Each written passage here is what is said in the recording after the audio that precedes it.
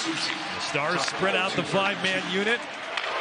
Pavelski turns in the left wing dot, angles it up high. Robertson, fresh off his heroics in Calgary. Heiskanen shot. That one goes wide. Big bounce and scored. Hintz was in front, and it redirected off the backboards.